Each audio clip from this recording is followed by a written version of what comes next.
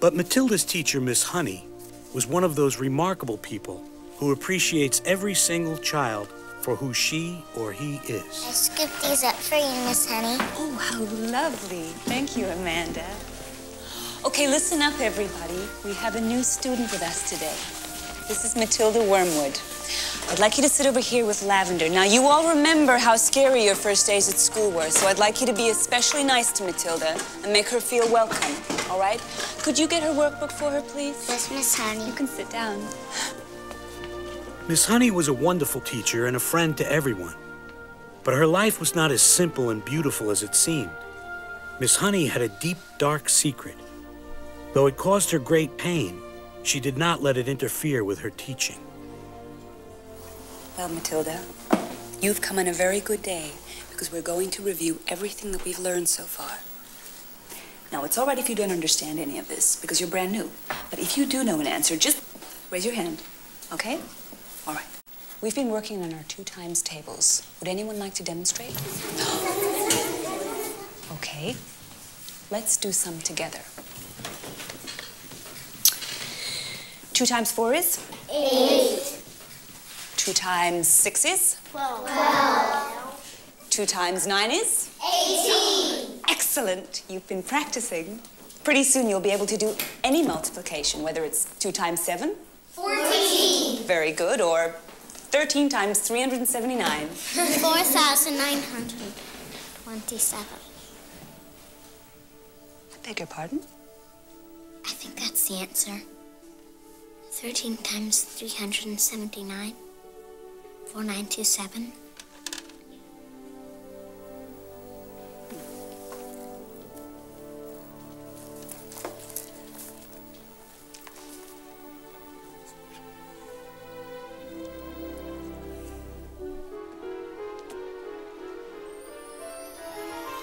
It is.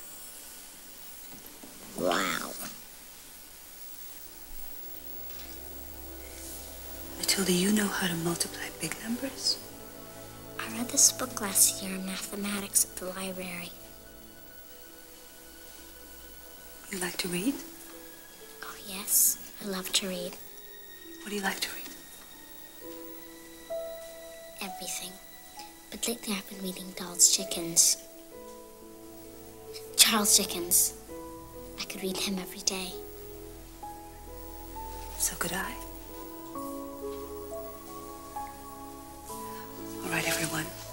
Take out your workbooks and let's start with section three.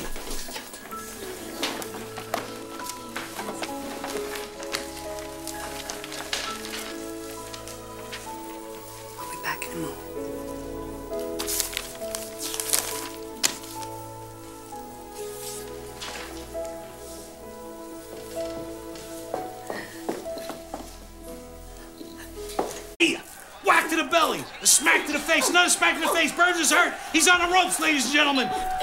Saved by the bell. Packages at this hour? Come here. What? Okay. Hello. We don't give money, we don't like charities, we don't buy raffle tickets. Oh, Mr. Wormwood, I- I'm Jennifer Honey. I'm Matilda's teacher. What's she done now? You, go to your room right now. Right now. Beat it. Look, whatever it is, she's your problem now. No, there is no problem. Then beat it. We're watching TV. Mr. Wormwood, if you think watching some rotten TV show is more important than your daughter, then maybe you shouldn't be a parent. Now, why don't you turn that darn thing off and listen to me? All right, come on, get this over with. Mrs. Wormwood's not gonna like this. Come on, get in. Close the door. Who is it? Some teacher says she's got to talk to you about Matilda. What'd you do that for? You have Velasquez on the ropes. What do you want? I- I'm sure you're aware by now that Matilda has a brilliant mind. Yeah, right. Mikey, give me a beer. Her math skills are simply extraordinary. She's reading material that I. Want one? Oh, no, thank you, dear. Ma- material that I didn't see until my second year of college. Oh, college. college. I really feel with private instruction that, that she'd be ready for college in just a few short years. Look, Miss Snit, a girl does not get anywhere by acting intelligent. I mean, take a look at you and me. You chose books. I chose looks. I have a nice house, a wonderful husband, and you are slaving away teaching snot-nosed children their ABCs. You want Matilda to go to college? College. I didn't go to college. I don't know anybody who did. Bunch of hippies and cesspool salesmen.